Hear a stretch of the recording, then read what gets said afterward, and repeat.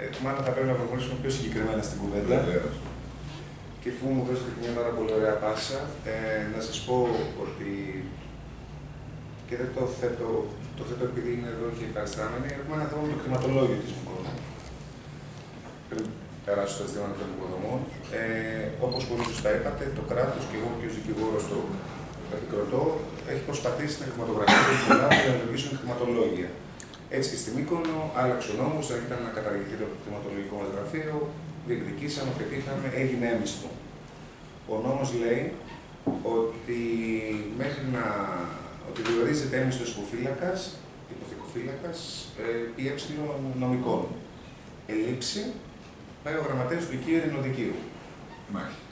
Στην περίπτωση της Μικόνου, ε, δεν έχει στείλει το αρμόδιο Υπουργείο Δικαιοσύνης ε, ΠΕ νομικών, άρα το βάρο έχει πέσει στη μία και μοναδική γραμματέα του ειρηνοδικείου μας, γιατί εδώ έχουμε μία ειρηνοδίκη και μία γραμματέα, η οποία δεν είναι νομικός και όλα τη κοπέλα, είχε προσληφθεί ως γραμματέας του ειρηνοδικείου, η οποία πρόσφατα πριν δύο εβδομάδες είπε ότι δύναται να εξυπηρετεί, δεδομένου του προγράμματός της, μία ώρα την εβδομάδα τις συναλλαγές του κτηματολογίου και του πορτοφυλακίου.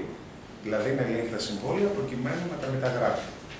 Επειδή μιλάμε για την Μύκονο και αγοροπολισίε είναι πολύ μεγάλες και σημαντικές, καταλαβαίνετε ότι αυτό το πράγμα δεν είναι δυνατό. Πρόσφατα το Δημοτικό μας Συμβούλιο που συζήτησε το θέμα, διαμαρτυρηθήκαμε στον αρμόδιο Υπουργό Δικαιοσύνης, εδώ έχουμε και τους υπαλλήλους του κτηματολογίου. Ε, πρέπει και σε αυτό το θέμα να το δούμε λιγάκι πιο ειδικά. Η Μύκονος ε, και το κτηματολόγιο της δεν είναι στο κτηματολόγιο ενός άλλου μικρονησιού. Παρόλο που έχουμε 10.000 κατοίκους, ο όγκο των συναλλαγών, η σημαντικότητά τους και ένα ενδεχόμενο λάθος της υπαλλήλου, το οποίο δεν θα το κάνει σκόπιμα, μπορεί να έχει πολλές παράπλευρες απώλειες. Άρα, εφού σας το θέλω το θέμα το οποίο είναι αυτό, ε, θα ήθελα και εσείς να δεσμευτείτε ότι θα ασχοληθείτε να δείτε πώς θα στελεχωθεί και θα έρθει ο έμιστο υποθηκοφύλακας, ο οποίος νομικών, για να λειτουργήσει και να μην έχουμε αυτή την πληγή. Και για να συνεχίσω, δεν ξέρω κύριε δεν θέλετε να, συνεχί... να προσθέσετε κάτι, Ναι, μια θα ήθελα. αρμόδια του... Εγώ είμαι υπάλληλος του υποτικοφυλακίου. μια Ήμασταν της- ζωή πρεβενιών ονομάζουμε. Ήμασταν άμυστο υποτικοφυλακείο. Μέσα σε μια νύχτα γίναμε έμιστο. Ξαφνικά. Όμω τα χάρη τι να κάνει. Όχι, έμιστο. Έμιστο. Έμιστο. Ακόμα είμαστε στο Υπουργείο Δικαιοσύνης. Δεν έχουμε έρθει σε εσάς. Είναι... Ναι. Ήμασταν τέσσερα άτομα, μείναμε δύο. Έχουμε πολύ μεγάλο όγκο δουλειάς.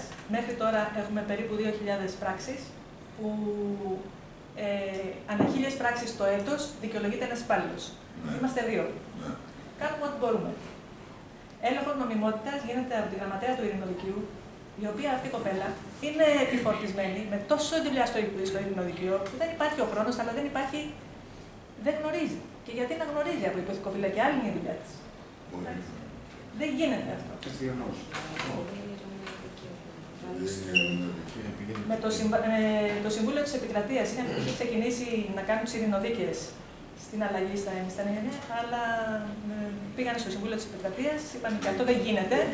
Και το Συμβούλιο της Επικρατείας είπε ότι μπορούν να είναι οι γραμματεί των ειρηνοδικαίων. Αλλά πώς, πώς; Δηλαδή αυτό το κορίτσι εμάς πώς θα μας βοηθήσει; Έχουμε σε εκκρεμότητα ένα σωρό δουλειά.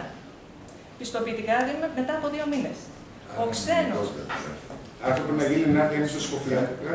το βασικό μας Το δικαιοσύνη. Το βασικό είναι ότι πρέπει να υπάρχει φυσική παρουσία νομικού. νομικού. Εμείς, αν είχαμε έναν άνθρωπο εκεί, θα πετούσαμε. Αυτό είναι το πνεύμα του νόμου. Ναι, θα πετούσαμε. Δηλαδή και δύο. Έτσι σχετικά Ναι. με ένα νομικό θα πετάνε. Ναι, ναι, θα πετούσαμε. Γιατί δούλευε, σαν γραφείο δουλεύαν πάρα πολύ καλά και άψογα. Αφήστε που οι υποθηκοφύλακες και ο αναπληρωτής μας έχει αφήσει πρίκα στελεχωμένο με άψογο ψηφιακό υλικό και με, το, με τα πάντα δηλαδή. Δεν είναι κάτι που ζητάμε από το Υπουργείο που ήταν άλλα πολιτοφυλακέ. Είμαστε έναν άνθρωπο ένα νομικό.